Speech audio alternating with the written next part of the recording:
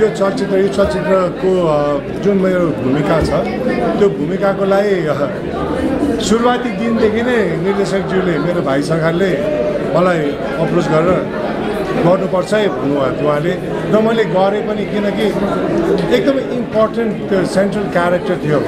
Character भएको हुनाले पनि मैले गरेँ। त्यो भन्दाखेरि पनि अझै मिलन चाम्स सरकार भाइको जुन यो बनाउने तरिका छ त्यो मैले कहिले पनि गुमाउनु चाहिनँ र त्यो भूमिकाको लागि मलाई एक दिन होइन दुई दिन हरेक दिन जस्तो महाराज यो भूमिका यस्तो छ यस्तो गर्नुपर्छ भनेर मलाई जहिले पनि पछाडि प्रम्पटिङ भइरहन्थ्यो। र मैले गर्न पाएँ आइएम भेरी ह्याप्पी। आज यस्तो राम्रो रेस्पोन्स यति ठुलो रेस्पोन्स हामीले पायौँ कि नेपाली दर्शकलाई अहिले अब हामीले हामीले अब न्यायपूर्वक ढङ्गले होइन चलचित्र प्रस्तुत गर्नुपर्छ है भन्ने कुरो मेरो मान्यता पनि भयो। र नयाँ जनरको सिनेमा त्यो पनि अझै इतिहास बोकेको चलचित्रहरू एकदमै रुचाउनु हुँदो रहेछ भन्ने कुरा चाहिँ मैले पनि फिल गरेँ। आज यो रेड कार्डको देखेँ अस्ति धरान पुगेको थिएँ। कम्प्लिट मुभी हेर्नु पाएन पुरा हेर्नु पाइनँ मेरो उडानको कारण फर्किहाल्नु पऱ्यो अन्तिम लास्ट आवरमा फर्किहालेँ। र आज मैले कम्प्लिट मुभी हेर्दाखेरि मलाई यस्तो अनुभूत भयो कि एउटा कम्प्लिट प्याकेज चाहिँ हाम्रो टिमबाट विशेष गरेर हाम्रो निर्देशक मिलन चान्स भाइबाट प्रस्तुत भएको रहेछ भन्ने कुरामा चाहिँ आज एकदमै मैले महसुस गरेँ। लाइभ देखिरहेको थिएँ दुबईबाट लाइभ गरिरहनु भएको थियो। ट्रेनमा उता उता पनि धेरैसँग गाडीहरू कुरा गर्नु आज प्राप्त प्रतिक्रियाबाट हेर्दा यहाँलाई कस्तो लागिरहेको छ प्रतिक्रिया त एकदमै पोजिटिभ म अस्तिदेखि नै हेरिरहेको छु क्या मैले नर्मली युट्युबहरूमा कुनै पनि ट्रेलरहरू अथवा केही पनि त्यहाँ कमेन्ट्सहरू म प्रायः पढ्दिनँ। अनि तर यसपालि मैले हेर्नु मन पऱ्यो मलाई। मैले हेरेँ। दुईवटा ट्रेलर निक्लिँदा जुन किसिमको एउटा पोजिटिभ सकारात्मक रेस्पोन्सहरू हामीले पायौँ नि त्यो नै हामीलाई एकदमै ठुलो अवार्ड जस्तो लाग्यो गिफ्ट र हामी यो भन्न चाहन्छौँ कि दर्शकहरूलाई प्लिज एकचोटि आएर हेरिदिनु होला होइन? कमी कमजोरी छ भनेदेखिलाई हामीहरूलाई औँलाइदिनु होला। तर अर्काको कुरा सुनेर नहेरिकन हामीलाई प्लिज गाली चाहिँ नगरिदिनु होला। बरु आएर थप्पड हानिदिनु होला मन परेन भने होइन त्यो चाहिँ हामी हामी अनुरोध गर्न चाहन्छौँ। किनकि एउटा कलाकार भएको नाताले पनि र यो चलचित्रसँग आज झन्डै चार दशक कटाइसकेँ मैले।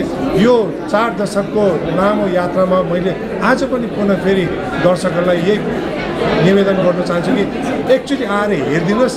हेरेर बरु राम्रो छ भने राम्रो नराम्रो छ भने नराम्रो। थप्पड हान्नु होला आएर थप्पड हानिदिनुहोस् तर राम्रो छ भने प्लिज राम्रो छ भनिदिनु होला। थ्याङ्क यू अभिनेता हुनुहुन्छ। सिनेमाको एकदम प्रभावशाली कार्यक्रम। सिनेमाको आज काठमाडौँको प्रिमियरमा सिनेमा अ, पूर्व प्रधानमन्त्री केपी शर्मा ओली लगायतका मन्त्रीजीहरूसँग हेरिरहँदा लगायतहरूसँग हेरिरहँदा प्रतिक्रिया र सिनेमाका सङ्घर्षका कुराहरूलाई विशेष गरी आजको यो जति पनि यो यो तामझाम जति पनि अथवा हजुरको जति पनि इन्भल्भमेन्ट छ उपस्थित हुनुहुन्छ यो नै हाम्रो लागि चाहिँ एउटा एउटा भनौँ नि चलचित्रको चलचित्रको युद्ध थियो चलचित्रमा भनेदेखि चाहिँ आजको यो युद्ध नै हामीले जितेको जस्तो लागिरहेको छ।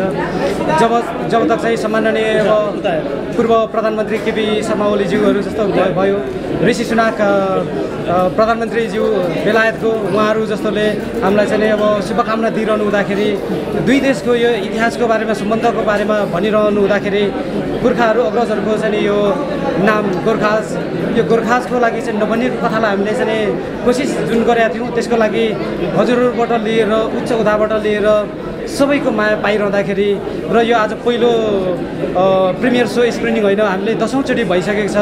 युकेतिरबाट भनौँ अथवा नेपालमै पनि अब धरान पोखराबाटको प्रिमियरको प्रतिक्रियाबाट हामी एकदमै उत्साहित छौँ।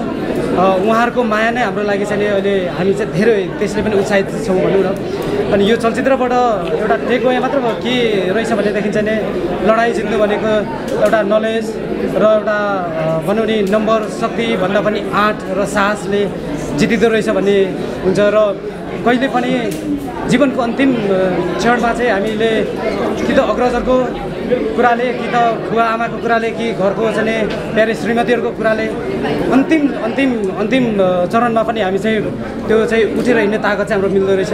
यही कथा चाहिँ हाम्रो गोर्खाबारीबाट हामीले हेर्न चाहन्छौँ र यही नै छ भनौँ तपाईँको जीवनसँग यो सिनेमा कति मेल खान्थ्यो कति नजिक थियो जीवनका भगाइहरू?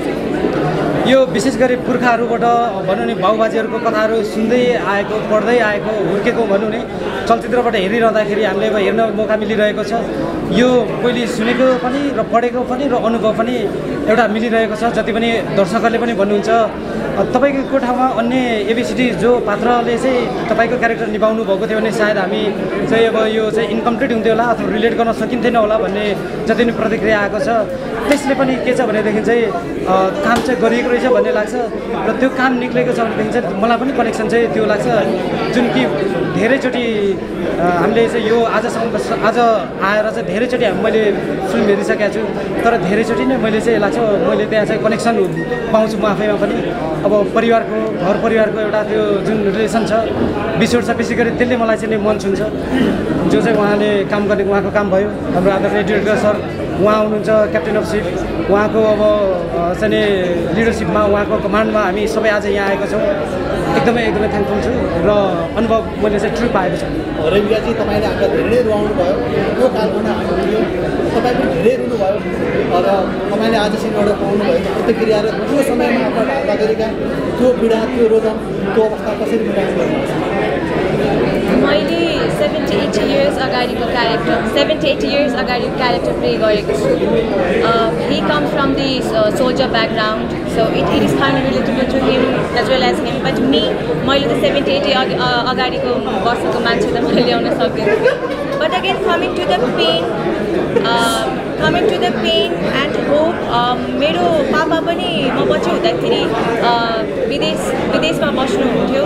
सो त्यसरी नै रिलेटेबल भयो। अनि सँगसँगै my mother is a cancer survivor too so all the emotions त्यो त्यो त्यो आउँदो रहेछ कि भित्रबाट कि बिहान जब त्यो मुभीमा देख्न सक्नुहुन्छ द लस त्यो लसहरू त्यस्तो उहरू सिनहरू आउँदाखेरि चाहिँ त्यो अटोमेटिकली त्यो आइँदो रहेछ।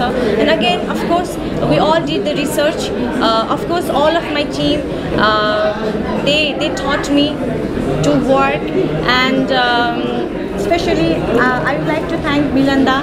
Uh, it's only because of him that I am here. उहाँकै उहाँले उहाँले म माथि विश्वास नगर्नु भएको भए म यहाँ हुँदैन थिएँ अनि यो इच एन्ड एभ्री सिनमा इच एन्ड एभ्री टेकमा मैले चाहिँ यसरी दिएको छु कि यो मेरो लाइफकै अन्तिम टेक हो भनेर चाहिँ मैले यो मुभीमा यसरी काम गरेको छु